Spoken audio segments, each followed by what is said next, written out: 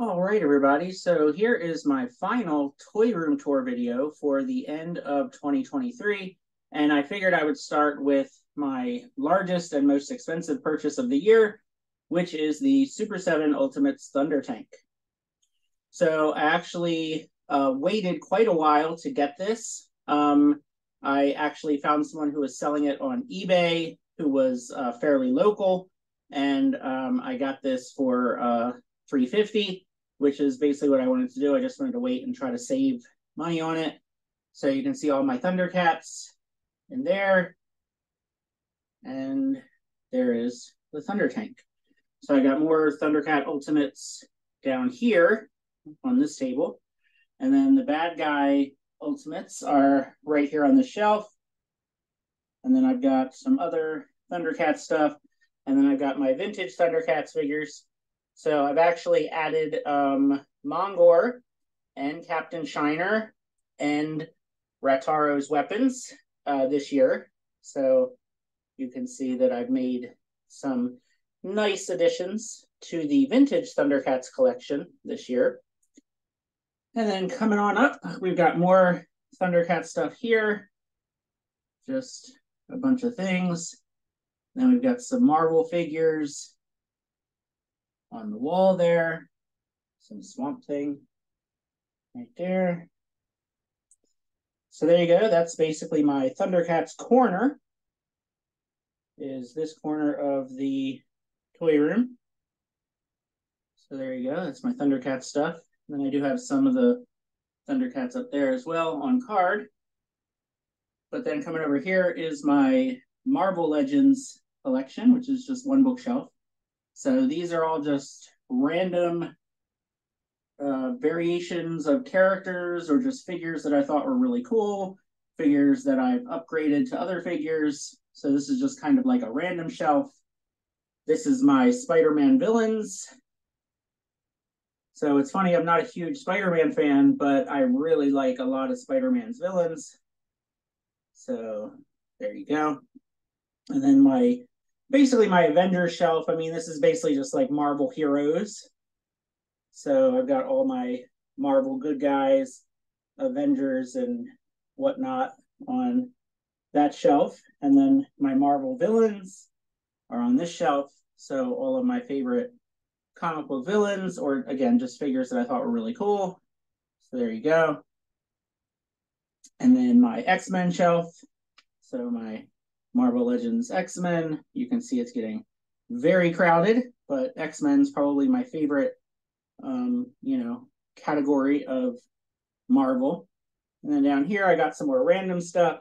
Uh, you know, recently completed the uh, Squadron Supreme. Got some other figures that I like that just don't really fit in anywhere. I've got some MCU figures that I've held on to. Um, so yeah, I've got two shelves of random X Men, bad guys, good guys, Spider Man bad guys. So there you go. That is my small but fun Marvel collection. Then we get to the Masters of the Universe. So I have a bunch of things on card and in package. And then my Skeletor shelf, which hopefully in the next couple days I will be getting the Mondo 12 inch Skeletor, which I'm very, very excited about because it looks amazing. But here's just a whole bunch of different versions of Skeletor there. And then my Masterverse villains. So there you go. And then this is a mix of classics and Masterverse good guys. I've said in other videos that for Masters of the Universe especially, I am just way more into the villains, which speaking of, here are my Masters of the Universe Classics, Villains. And then you can see I have some Origins figures mint on card there. And then these are my vintage Masters of the Universe figures. So these are the ones from the 80s, as well as some other little things back there just kind of hanging out. And then if I move over to here, I've got more Masters of the Universe stuff. So here are my origins. Um, basically, I guess you could say my horde figures. Uh, my He-Man variants, just various Masters of the Universe Origins figures. And then I've got all my good guys up here with Castle Grayskull. So there's the castle, there's the Wind Raider, and my good guys. And then over here is my Snake Mountain that I have opened up and displayed. I've got some of my favorites here. So like Stinkor, Whiplash, Skeletor's up there in his throne. The skeletons are guarding He-Man. He-Man is in jail. And of course, there's Panther. Um, and I've got Stratos caught up there in the snake. So yeah, so there is my Origins Snake Mountain. And then some more bad guys hanging out down here. Baker's on the Sky Sled. And Trapjaw is in the Land Shark. And then all of my Snake Men. So I've done uh, quite a few custom Snake Men, uh, as well as, of course, just the regular releases. So there you go. And there's Lady Slither. There's King Hiss. I'm using this as kind of his throne. I've got some guards there with the snake heads and necks. So yeah, I just I love this Snake Man display in particular. I just think it looks really cool and colorful and I just like the the mix of the customs that I've done. I'm still working on a couple other customs. Don't really have room for them, but you know. And then this shelf is waiting for the TMNT Motu figure. So I actually have a shelf that is waiting and dedicated for the Ninja Turtle Motu crossover figures. So if I back up here, you can see the whole display of Motu Origins. There you go. And then, of course, my other Motu bookshelf is over here. All right, and then finally in the toy room, the last shelf is all of my random stuff. So this is stuff that just doesn't fit in anywhere else. Uh, it's a mix of vintage stuff, properties that I like, and a bunch of customs I've made. Uh, or some things that I've kit bashed, head swapped, whatever. So you can just kind of look uh, I've got, you know, like the uh, Monster Force Creature. I've got the Ghostbusters Wolfman. I've got the Ghostbusters Mummy. I've got a bunch of the Captain Planet figures. And again, some customs and kit bashes and just a whole bunch of random crazy figures. And then same kind of deal with this shelf. Got some vintage Joes. I've got some Super 7 Joes. Again, some customs. Uh, I've got my Swamp Thing, my Kenner Swamp Thing figures are hanging out here. I've got some of the Fortnite stuff. So again, just a bunch of random figures in the collection. Uh, most of this is McFarlane and Super 7. So you can see I got a lot of the McFarlane um, Mortal Kombat back there. I've got uh, Super 7, G.I. Joe, and Toxic Crusader. Uh, I've got the Phantom, I've got Fei Long, I've got Mythic Legions, Mossman Dude. So yeah, so there you go. This is like my shelves of random craziness here. So it's a bunch of figures. And then down here is my uh, DC Imaginext. So I didn't include this in the DC video because honestly I forgot about it because it's just kind of hanging out here on its own. I just like little Imaginext ones. And of course I like the classic versions of the characters. And then more random stuff. A lot of this is Nintendo, Fortnite. Um, well, I said Nintendo, I guess Mario. Um, so yeah, like video game. Yeah, I guess we can consider this the video game figure shelf. And I've got the Headless Horseman hanging out here because I had to move him because the shelf that he was at is going to be for my G.I. Joe Dragonfly when that comes in. So speaking of, uh, in uh, the next part coming up here, we are going to look at my G.I. Joes. So that will do it for the toy room tour. Um, everything else is in different locations. So uh, this wall over here is Thundercats, Marvel, Motu, and other stuff. So there you go. That's it, and we'll be back with more.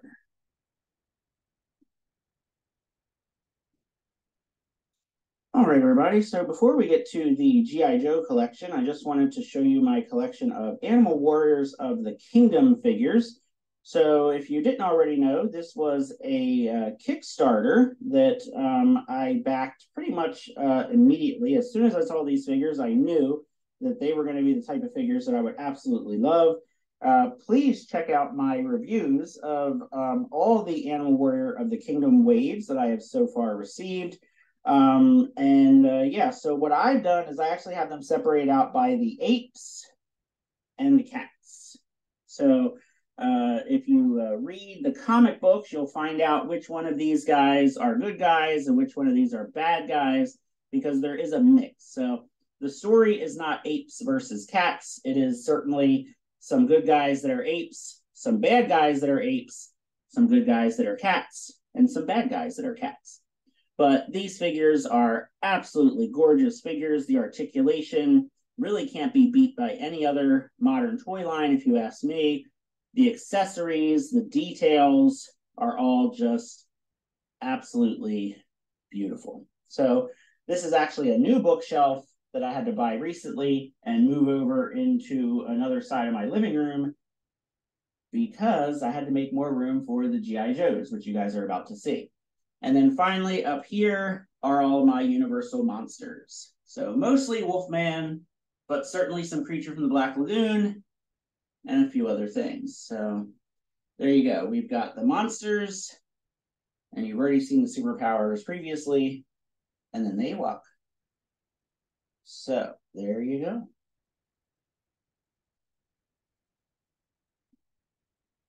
All right, everybody. So now we're going to take a look at my G.I. Joes, which I only started collecting G.I. Joe Classified at the end of last year and throughout uh, most of this year. So I had to actually buy a couple new bookshelves and put them in the living room because there is no room in the main toy room for my G.I. Joes. So this is my shelf of um, basically cartoon versions of the Joes here. I've got a couple customs. I did a custom uh, Stalker and a custom Alpine there.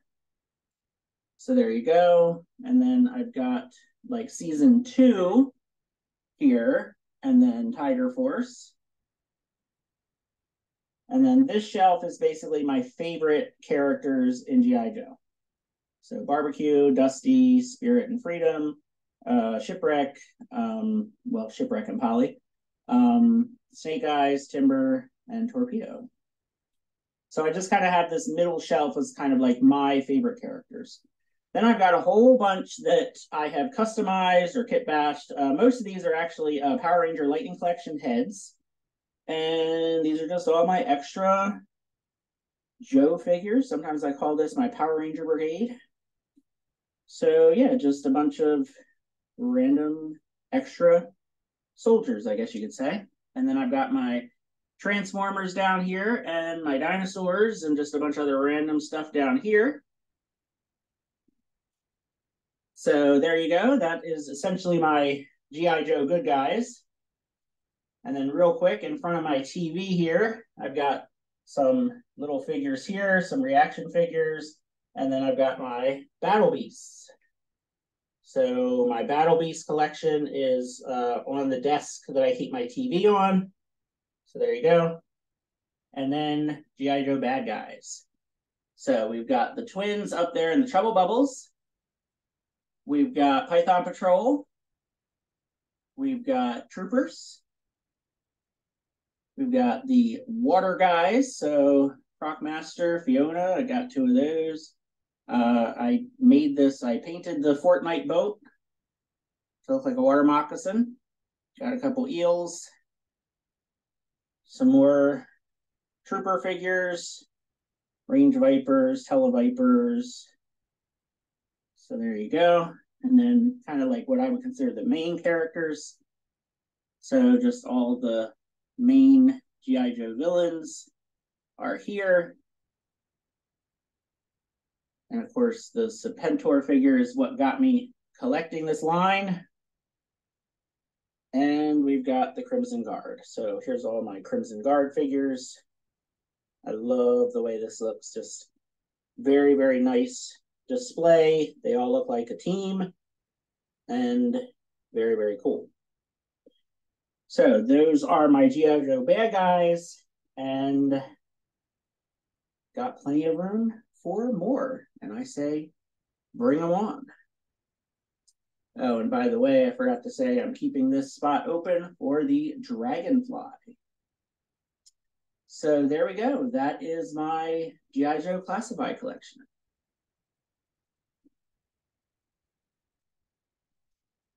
All right, everybody. And finally, the smallest part of my collection is my Star Wars collection. So I've got some things on card and in package. I've got uh, loose figures. So basically, if I kind of get in here closer, you can see I've got prequel, original movies, everything else. And then I've got my Darth Vader collection. So basically, a whole bunch of different Darth Vader figures, which, if you can't tell, Darth Vader is my favorite Star Wars character. Then I've got my shelf of troopers. So all kinds of different types of stormtroopers and clone troopers and whatnot. And then just my shelf of randoms. A lot of this is vintage collection or just old vintage toys. A Bunch of random stuff there. And then since I'm running out of room, I had to put some stuff on the floor. So we've got um, Darth Malak and Cal Kestis hanging out there, and then we've got the Emperor with his two guards. So yeah, just my small Star Wars collection, but yeah, definitely the smallest part of my collection, but uh, it's fun. I like it. Don't have much more room for any more troopers, so not sure what we're gonna do about that, but we'll worry about that later. So that's gonna be it for my um, toy room tour videos. I hope you enjoyed them. Uh, definitely check out my uh, Turtle lair tour video, as well as my main toy room uh, tour video, which was my Power Rangers and my DC collection. And uh, thanks very much for watching. Feel free to like and subscribe, and have a good one.